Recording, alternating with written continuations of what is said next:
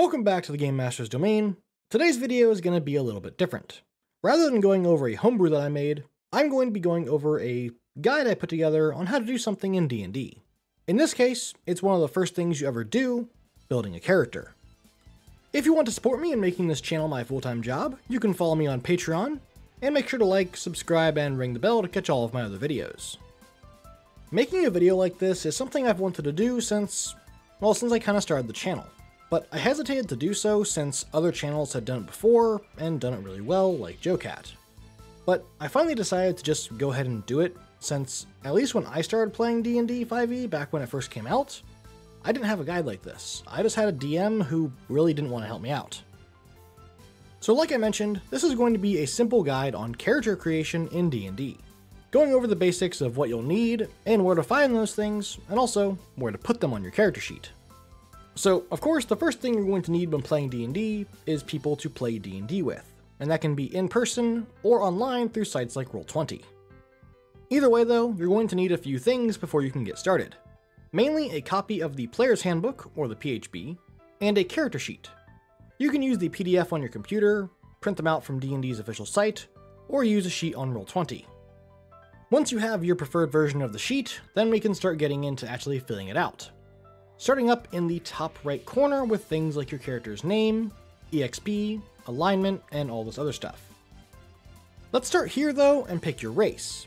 You can also call this a lineage if you like now, but either way, they're found between pages 17 and 42 of the PHB. There are a ton of races in D&D to pick from. You have the generic humans, elves, dwarves, and so on, but also the more exotic things like Goliaths, Shifters, and Tieflings. Your race really isn't something you can change, so make sure you pick something that you like, because these are going to give you the basis for your outward appearance, as well as racial abilities and stat bumps. So while you're looking through these 72 different races that you could be depending on your setting, you're going to see a few different things once you get past the lore. Starting off with ability score increases. These come in a few different ways depending on the race. Humans, for instance, get a flat plus 1 to all stats, while something like a half-elf gets a plus 2 in a predetermined stat, and 2 plus 1s in any stat of your choice. But if the race you chose has subraces, then you're likely going to have a plus 2 in one stat, and then you're going to get a different plus 1 depending on which subrace you pick, which will better help you fit into whatever role you want for your character. After ability score increases, we're going to have age, which can vary a lot, from the Kenku and the Elves, which can live between like 20 years and almost a thousand years. Age isn't really a big factor in D&D unless you are extremely young or extremely old. So maybe just try not to be a 900 year old elf at the start of a campaign when you're just starting off at level 3.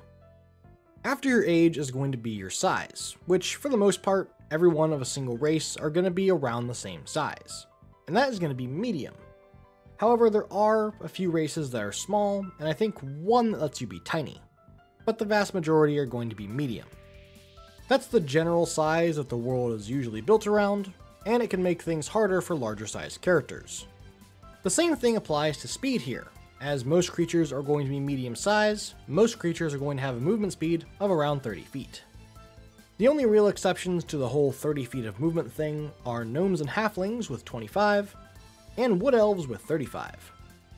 After that, you'll find your languages, dark vision if you have it, skills, and small abilities that every member of the race gets, like with elves and their ability to not need sleep. If your race so happens to give you any skills, you can mark those down over on this left side of the character sheet here in this section. Uh, don't worry about the bonuses for now or anything, we will get to that part here soon. After that, if you don't have a sub race, then you're done with the race section.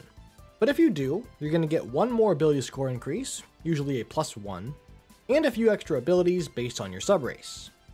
Once you've chosen your race and put all that information in, this is where I like to do the next part. And the order here doesn't really matter a lot. If you'd like, you can do this first, or you can wait until after you pick your class, as long as you have a good general idea of what you want your character to be. This next part is going to be doing your stats, which you can find all the information for that on pages 12 through 13 of the PHB. These are going to be found over on the left side of the sheet, where you can see these things labeled Strength, Dexterity, Constitution, Wisdom, Intelligence, and Charisma, possibly in that order if I got it right. These numbers are very important, They're your bread and butter, your your go-to, everything. Whenever you make a dice roll, one of these numbers is going to affect it in some way, whether it be good or bad. Do you have a 16 in dexterity? If so, then you'll have no problem sneaking around. But if you dumped wisdom down to 8, then you're not really going to have all that much common sense. When it comes to actually putting numbers in these slots here, you have a few different options. You could go with the standard array, a balanced option giving you a 15, 14, 13, 12, 10, and 8 to work with. Point buy is also a good one if you really want to focus on certain stats, but the most fun way to do it is really just to roll for them. And there are a lot of different ways to roll, but the normal way is to roll 4d6 and drop the lowest number rolled. So you could say roll two fours and two sixes.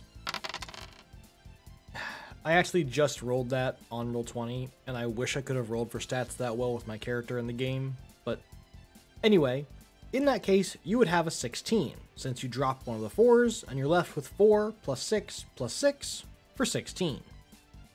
And if you happen to be playing on Roll20 like I do, you can just type slash r 4d6d1, and it will automatically drop the lowest die rolled. Some people like to roll in order, so their first roll, no matter what it was, would go into strength, and so on. Meaning that they usually pick their class after they roll, since if they went with like a sorcerer and they ended up with an 8 in charisma, not much they can do there. But honestly, I just like to put my numbers wherever I want, because I generally have a good idea of what I want my character to do before I even roll for stats. Okay, just one more part before you get to picking your class, and that is choosing your background. These are found on pages 125 through 143 of the PHB. This is what gives you your ideals, bonds, flaws, and so on over here on the right, as well as one or two extra skills, and maybe even a small roleplay ability. You don't have to follow the bonds, flaws, and stuff to a T, they're more like guidelines. Mostly, these are here to help keep you in character, and help you make any decisions that you might be unsure on. You can choose your background from a long list of backgrounds, or just make up your own. I normally like to do a bit of both, taking a base background and then modifying it to better fit the character and their backstory. Okay, now we can get to the big one, the decision that is going to have the biggest effect on how you play the character. And that is choosing your class. Classes are found on pages 45 through 112 of the PHB, and there are 12 of these to pick from. Well, really there's 13, but since we're only going with the PHB here, there's 12. Your options are the Artificer, Barbarian, Bard, Cleric, Druid, Fighter, Monk, Paladin, Ranger, Rogue, Sorcerer, Warlock, and lastly, the Wizard. Your class determines a lot about your character, from how many hit points you get to roll each time you level up, to your saving throws, and how many skills you can learn. All classes give you 2 saving throws and 2 skills. Unless you're a rogue, which in that case you get 4 skills. They usually have a list of between 4 and 6 skills to pick from, so not every person playing a fighter has the same skills. Another very important number is your proficiency bonus, which goes right up here next to your stats. This is more determined by your character's total level and not their class level. So if you were to multi-class into something else, you would still have the same proficiency bonus as someone with the same total level as you.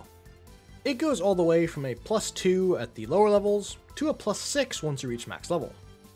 This number gets applied to any roll that you are proficient in, whether that be attacks, skills, saving throws, or really anything else that your DM says you're allowed to use it on. So if you happen to be sneaking around and you're proficient in stealth, you get to add both your proficiency bonus and your dexterity modifier to the roll. The same goes for saving throws here. You add the corresponding stat and your proficiency bonus if it applies. These are also a little bit harder to get more of, since normally when you multi-class you get a few things from the other class as well, but in this case you don't get any more saving throws. If you want more of those, you have to get a special feat to do that. Your class also tells you what weapons and armor you're proficient in, as well as your starting gear and wealth, which for some reason is not listed with each class, and is instead found on page 143 with equipment. I am not gonna lie, it took me way too long to find the wealth section in the PHB when I first got it. Yes, I know it is right there in the table of contents. I was convinced it was over here in character creation, and I refused to look up there for some reason. Anyway, uh, back on track, Any additional things that you're proficient in that aren't skills go down here under those skills. So that can be tools, weapons, armor, or really anything else that isn't a normal skill and isn't pre-listed. Most classes also give you some proficiency in armor, but heavy armor also requires a strength stat on some of the pieces, like full plate. And if you don't have that strength, then you can't benefit from the armor. The armor might look cool, but if you don't have the strength to use it, it might as well be tinfoil. Weapons on the other hand are different, and even if you aren't proficient in them, you can still use them and just not add your proficiency bonus, instead just add in the corresponding stat to whatever type of weapon it is. So if you're just a regular person who's pretty strong, you can still pick up a hammer and deal some damage, but you're never gonna hit as hard as someone who's actually trained. Now, arguably one of the most important things that choosing your class does for your character is decide their hit die, going from a d6 all the way up to a d12. You'll find the hit die right here underneath your hit points and temporary hit points, and you have a number of them equal to the level in that class. And if you have two different classes, then you have two different types of hit die. Every time you level up, you're going to roll the hit die for the class that you took a level in. So if you have two, like a barbarian and a fighter, and you level up the fighter, you're going to roll a d10. Below that is the temporary hit points, which act kind of like a barrier. They'll help block some damage, but if you're already on the ground bleeding out, it's not going to help since it's not healing. It's just extra health on top of your normal health. Now, down next to your hit die in the bottom right, you're going to see your death saving throws. And you don't need to worry about that until you hit 0 HP, and then you're going to start worrying about it a lot. It's pretty simple though. On your turn, you make a roll. If the roll is 10 or higher, you pass. Three passes, and you're safe, knocked out at 0 HP. But if you fail three of them, well, then you should probably go back to the beginning of this video. But it's not all up to you. Allies can make medicine checks with the same DC of 10 or higher to try and stabilize you on their own. And if an enemy hits you, then you fail a saving throw. Or you can fail two if they're within 5 feet of you, since it's technically a crit. I would tell you to watch out for that, but uh, if you're bleeding out on the ground, you're not going to be doing much dodging. Okay, so far we've covered most things on the sheet, so let's get into the home stretch. First is this section here in like the bottom middle, this is where your attacks go. Swords, arrows, eldritch blasts, spells, whatever you want, they all go here if you plan to attack with them. The names go on the left, their attack modifier or saving throw goes in the middle, and their damage goes on the right. You also don't need to put your spells in the attack section here if you don't want to, since there is an entirely separate page for those spells, but if you don't want to keep flipping back and forth between them, you can just put your favorite ones here.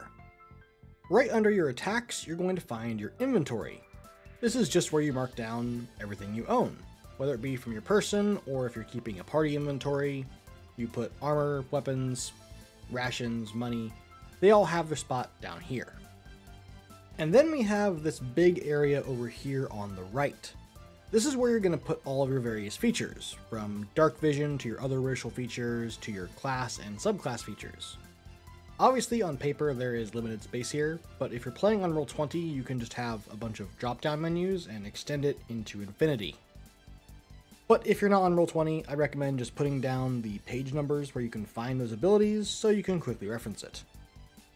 Okay, so remember a little bit ago when I mentioned a separate page for your spells? This is where you can leave the video or just skip to the ending area if you're playing a martial character, since you won't be using this page at all. This is your spell page. On here, you'll have your spellcasting ability, which depends on your class, your spell attack modifier, and your spell saving throw DC. Those are all up on the top here, over top your spells. Your spell saving throw DC is very easy to calculate. It's 8 plus your casting modifier plus your proficiency bonus. The same goes for your spell attack modifier. It's just your proficiency bonus plus your spellcasting modifier, and then whatever you roll. Most of the page here, though, is just dedicated to your spells. They're listed from cantrips all the way up to 9th level spells, from top left to bottom right. The next page is the bio page for your backstory and stuff. This is also where you can put your physical description, hair color, eye color, height, and so on, but that's all other stuff that isn't really needed for this video. The only other thing of note I want to go over really quickly are these little things here between your ideals and bonds and stuff and your features. They're not on all character sheets as far as I can tell, they're just on the Roll20 one I'm using here, and I love them. I tend to use them to keep track of different levels of spell slots, if I'm playing a spellcaster, how many ki points I have, different short rest and long rest abilities, and how many of them I have left to use. So if you don't have them, that's unfortunate. I'd recommend keeping your stuff like that on a separate piece of paper. But if you do have them, use them. It will save you time. And uh, I think that is about it. I hope this wasn't confusing or rambly. Um, it is my first time doing this sort of video, but I like it. And I think I do want to do some more stuff like this, covering normal D&D stuff instead of just homebrew. If this was helpful though, uh, feel free to leave a comment, because I'd love to hear some more from you guys. But that is going to be it for this guide. If you like this sort of stuff, you can check out my other videos for homebrew monsters, subclasses, and races, or check out the Discord server to join our community. That will do it for our session today. I'll see you next time, and have a wonderful day.